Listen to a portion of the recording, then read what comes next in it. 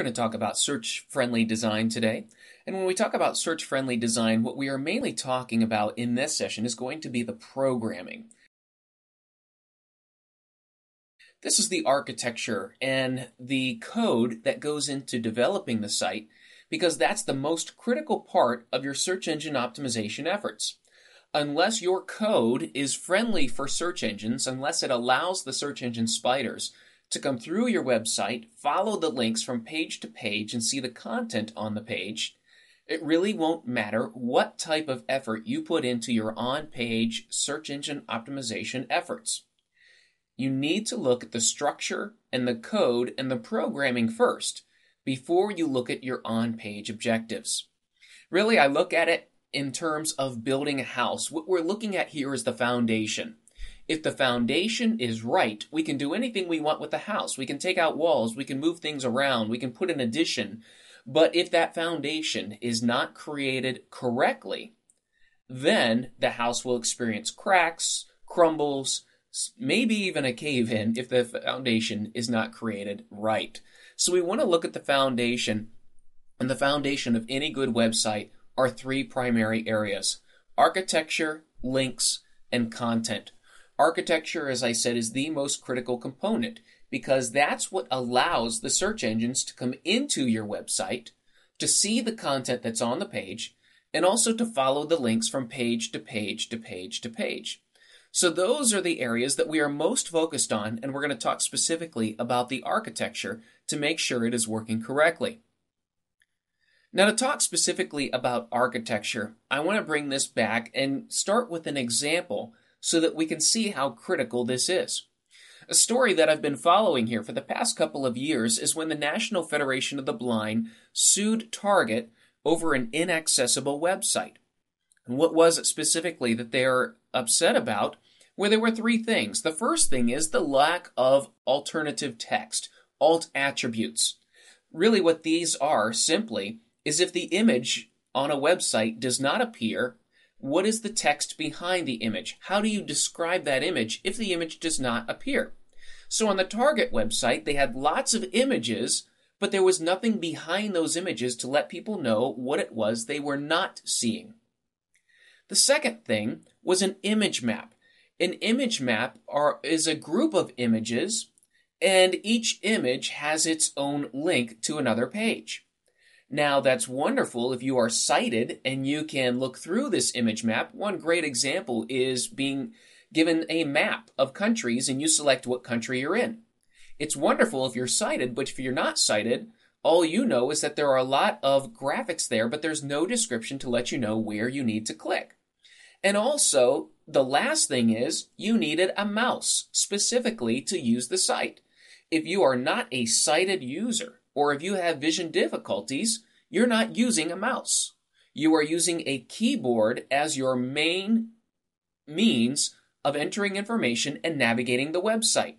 Blind users do not use mice because they cannot see where to click. It's fairly fairly obvious some of the things that are needed there, and all three of these things are very critical to also allowing search engines to get through the site. Search engines look at the alt attributes. They look to see what is there if the image is not there, and they take that into account. Search engines also cannot use a mouse to navigate the page. If you can navigate your website with a keyboard, chances are a search engine can get through it as well.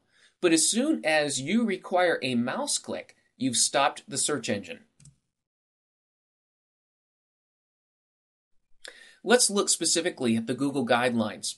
And if you're interested at all in search engine optimization, then it is an absolute must that you are familiar with the Google guidelines because Google will tell you how specifically they want you to build your website. Google is not in the business of excluding websites. It's in a search engine's best interest to have as many documents and websites as possible in their server. They don't want to exclude everything, they want to have as much as possible. So you need to be familiar with these guidelines and be familiar with what they are asking for.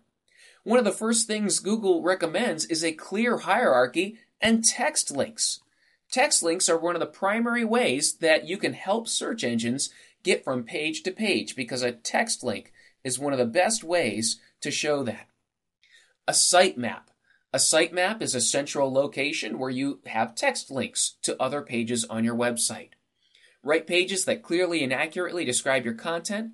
Use words that users use. Try to use text instead of images. And also make sure your title and alt attributes are descriptive and accurate. If Target would just follow these simple bullet points, and these are just some of the highlights pulled out of the Google guidelines, if Target would have just followed some of these, their website would be more easily crawlable by the search engines, and it would also be more accessible to disabled users.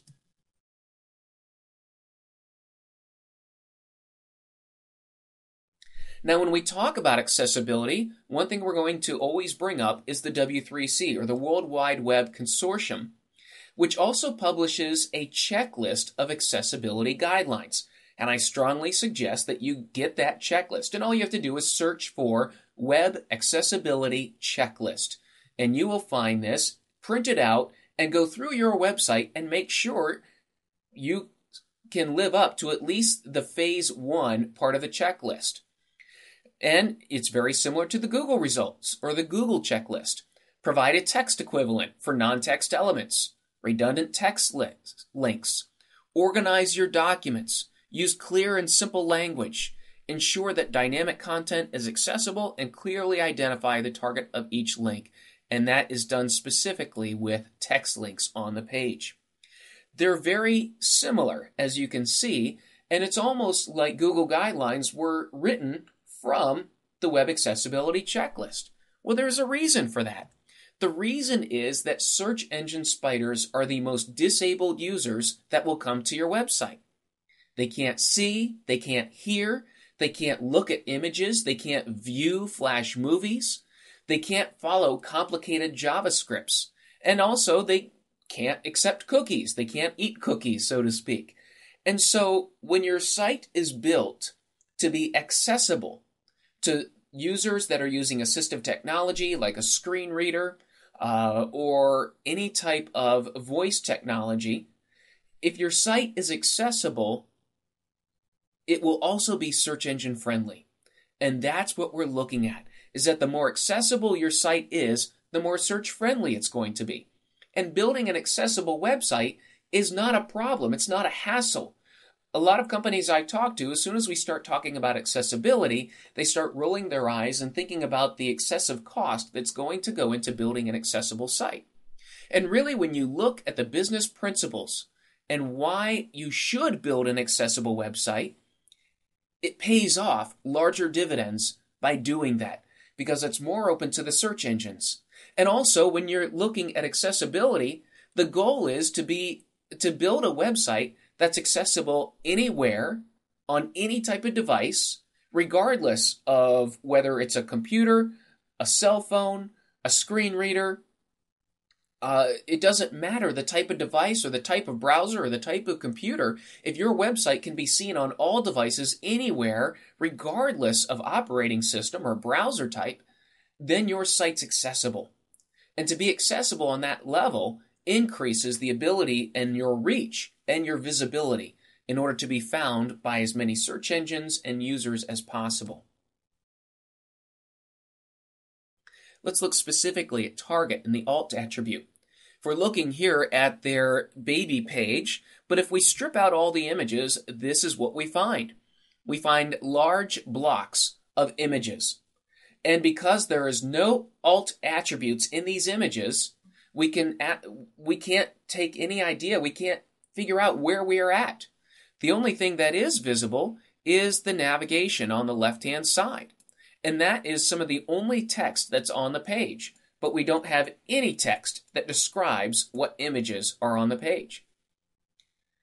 Now, if we look at some of the other pages on the site, what we see is this is where Target is putting a lot of their call to action. They're putting their calls to action within images. So we have save 10 to 20%, save 10 to 20%, free shipping. But unless you can see those images, they are not available for you. And so this is one of the primary things that the National Federation of the Blind is very upset at is that if there is a blind user on the site, they are not aware of the sale information, the free shipping information, or really in, available to any of the information that's on there. The only thing you have to go by is the content and the navigation on the left side, and maybe you will get to a page that has significant amount of content in it. Now, sometimes we block search engines just because we're trying to do some things that might accomplish some business objectives. Here's a website where they are asking you specifically to select your country and then you have a continue button. Now, unfortunately, a search engine spider, if you think about it here, we are requiring three clicks. We're requiring someone to click the drop down to select a country and then click the continue button. A search engine is not able to make those types of clicks. The search engines are looking for text links. They're looking for links to go deep into the website. But because we require so many clicks to get into the content, we're going to prevent an easy spidering of this website. Here's another website where they have some language considerations. They're asking which language here. But again, it's a three click process to get into the rest of the website, and there are no text links taking anyone in to the rest of the website. Again, creating a roadblock for the search engines. Prince Tennis has a Flash based website, and it's one of those ones that I've been watching for a while because ever since they've done it, their rankings have dropped significantly. The main reason is when they built this Flash interface, what we see in back is select a region or country, and that is the option available to them. Again, we're asking for a three click process, but it is contained within the Flash movie.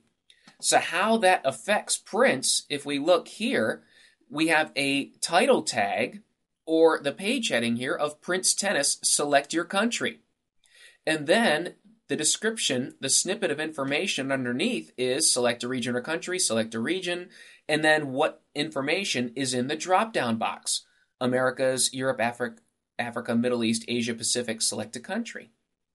And so realizing that this is the first marketing message that a searcher will see about your company in the search results means that you can't afford to mess around with not having the ability to control this information. You want to control it as much as you can, and you do that best through HTML with the page title, with the description, with the content that's on the page. By putting all this information into select a region or country, what we have here is a very mundane description. And when you consider what's above and below, if anyone is looking for a Prince tennis racket and they're looking for a good price, they know that they can get Prince tennis rackets here at Tennis Express and also at Racket Depot because they're advertising exactly what the user is looking for.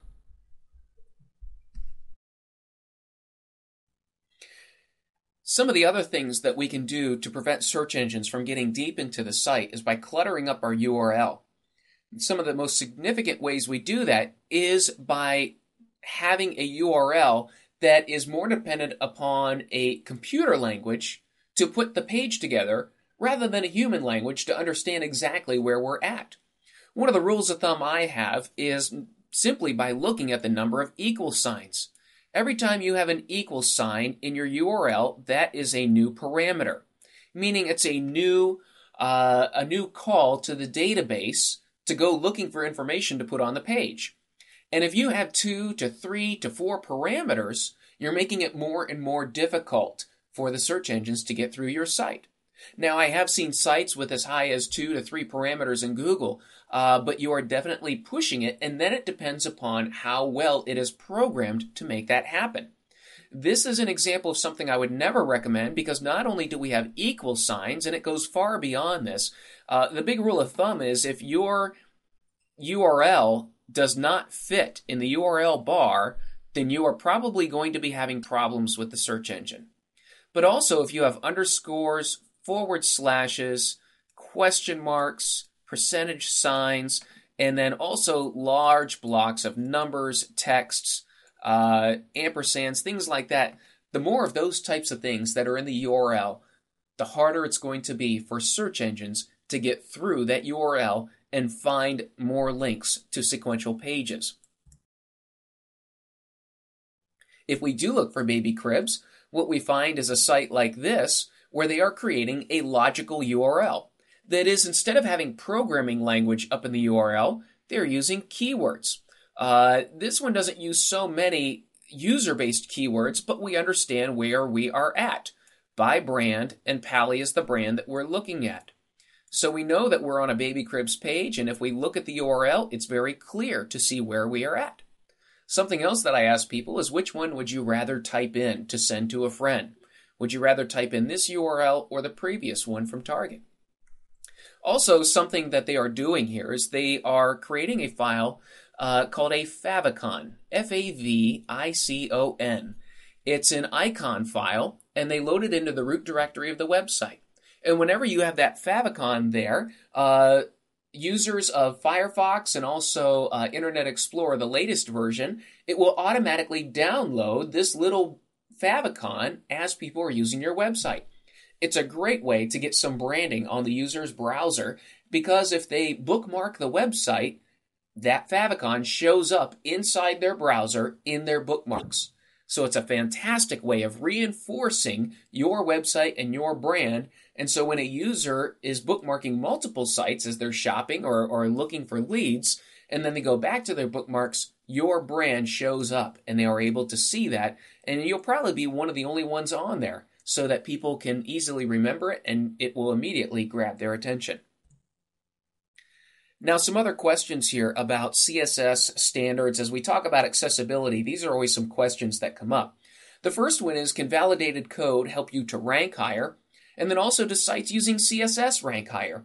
Believe it or not, these are actually sales propositions put out by a lot of SEO companies that if you have validated code or you scrap your old site and create a new site in CSS, that these things are going to help you rank higher. And I, I really want to bring some education to this and some clarity in that these are both things that are important, but they're not critical to helping you rank higher. They have indirect benefits. I'll talk to you about how that can happen. The first is by cascading style sheets, the CSS. CSS is a programming language that allows a lot of the markup, meaning the instructions, the instructions that say make the text this size, make it this color, make it appear to the left of the page. All of those instructions are in a separate file. And so when you look at a specific page on your website, all that is in the code is the content. And then there is an instruction that says, in order to format this page, look at this specific file. And that instruction is on every page of the website. So rather than when you want to make a change to a color or size of font, you make it one time and it broadcasts out to all of the pages on your website. But it allows the content to be the primary focus on the page. We don't have all that markup. We don't have all that gobbledygook of code on the page that the search engines have to parse through. And so it makes it very easy for the search engines to find the actual content very quickly on the page and not have to deal with lots of scripts or markup language in order to determine where the content is and how it should show up. Here's an example of a, an old table based layout. And, and really, these are the two competing methods of laying out page information. Tables really is just more of a block format where you can say, I want this in the upper left block, I want this in the lower left block. And here's a great idea of how that happens. And this is the Costco Computers website. And you can see how they have the page laid out. As you can see, there are links here, space, a link, member services, pharmacy. What we're looking at is the main navigation here, photo center. And then you can see where they've put in little blocks as spacers in between the content. Then also we have additional top nav information here, and it's all blocked out. Now, the problem is because it's a table based layout, when a search engine comes to look at the page, the search engine squishes everything together and tries to look at it in a sequential format. And it looks kind of like a mess. Here's a better way of showing it. All if you have a table based layout, the search engine starts here at the upper left block. That's where the search engine starts. And then the search engine reads down and then it goes back up to the next column and reads down. Instead of the way humans look at everything, we start in the upper left and go to the right.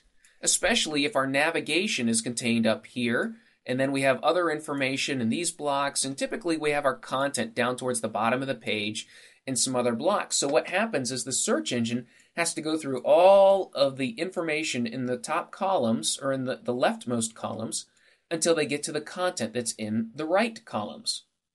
So the search engines are looking from top to bottom, we're looking from left to right.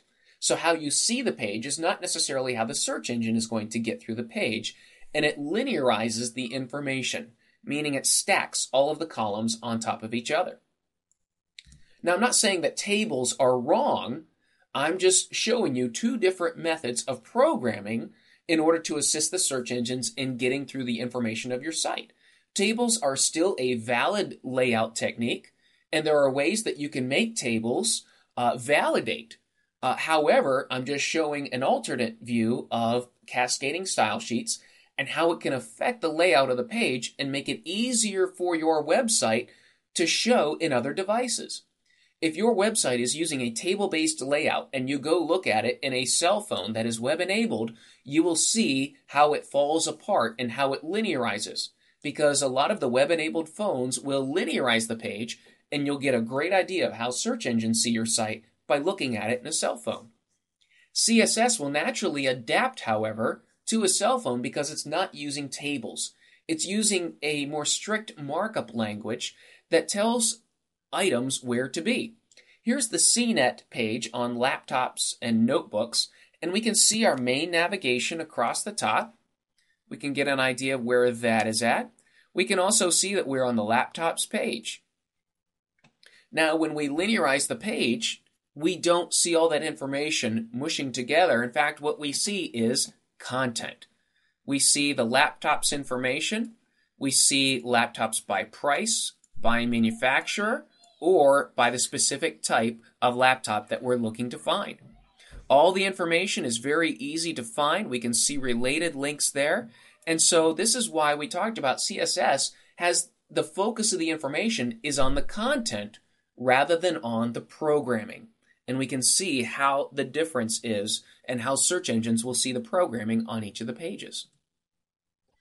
So what I would tell you is go look at your company website, on your cell phone, on your web enabled phone, and go see what it looks like.